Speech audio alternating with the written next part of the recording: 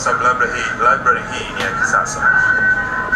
Unaweza kuona mandhari yake ni nzuri, lakini unaweza kuona wameenda kiteknoloji zaidi.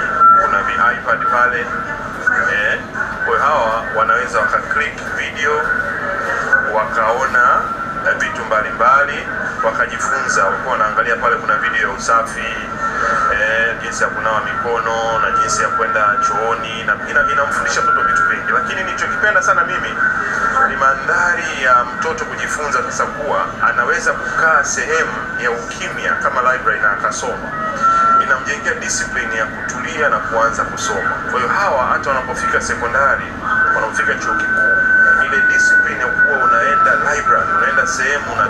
unasoma ni nzuri sana.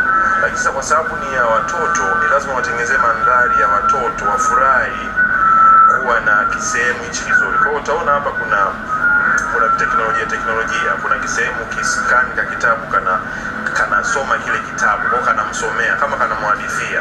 Kwa hiyo watakuwa na enjoy kuja huko ndani. Kwa hiyo tunafurahi sana na Sisi Kinondoni tunataka tuonyeshe mfano kwa juhudi za Mheshimiwa Rais za kutoa fedha ya elimu bila malipo, tuna shule kumi na tano. Hii ni mojawapo ambazo tunataka ziwe za kwanza kwa kipindi cha 2015 2020 ziwe shule zaidi ya shule zisizokuwa za serikali.